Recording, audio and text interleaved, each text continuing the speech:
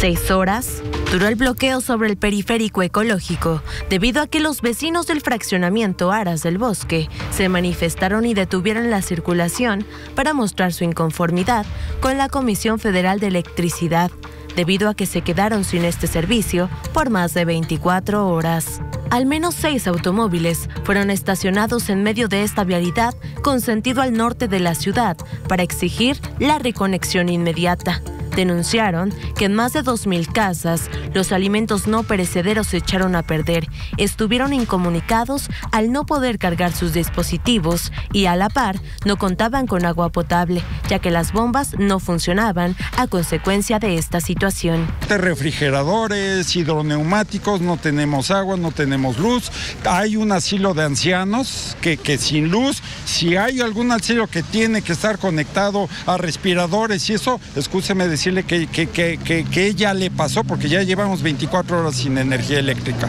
Esa es nuestra molestia. Que nos disculpe toda la ciudadanía aquí en Aras revelaron que la problemática fue generada ya que la dependencia federal detectó conexiones ilegales, lo que se traduce al presunto robo de energía eléctrica, por lo que pidieron a los dueños del conjunto pagar la multa de 549.387 pesos por evadir este trámite. Sin embargo, todas las notificaciones fueron ignoradas y se procedió al corte. No han entregado los fraccionamientos a Comisión Federal de Electricidad como no los entregan y ellos se cuelgan directamente a los fraccionamientos para que tengan luz, básicamente el alumbrado.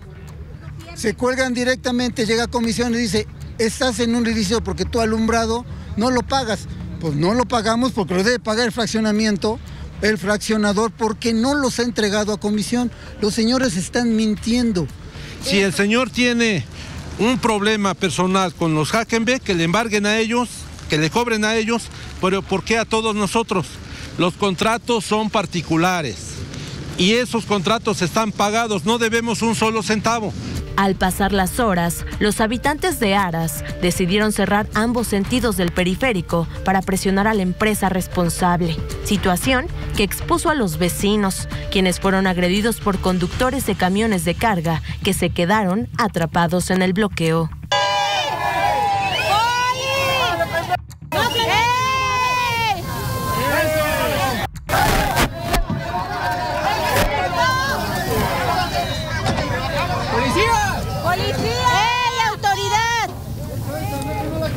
Ante el escenario de violencia, fue reabierto el paso con sentido a Valsequillo. Al lugar llegó el abogado del residencial a quien le reclamaron por las afectaciones. Deben 549 mil pesos el desarrollador. Que vayan a pagar. Nosotros tenemos contratos individuales. Esto que ustedes están comentando, quisiera que lo escucharan ante una instancia, una autoridad. Vayan y paguen. Es lo que tienen que hacer. Si hay alguna deuda, allá lo pagamos, pero en la Secretaría de Gobernación. Esta instancia se puede regular. De igual forma, personal de la Secretaría de Gobernación Estatal y elementos de la Policía Municipal acudieron al punto para ser mediadores. Tras una reunión con la Comisión Federal de Electricidad, se acordó que el fraccionador tendrá que pagar o volverán a realizar cortes de luz. Asimismo, tras los acuerdos, los vecinos esperaron a la cuadrilla que reconectó el servicio. Y fue hasta la una y cuarto de la tarde del pasado viernes que fue liberada esta vía rápida. Delfino Nolasco tras las imágenes. Deslimora reportera, Telediario Puebla.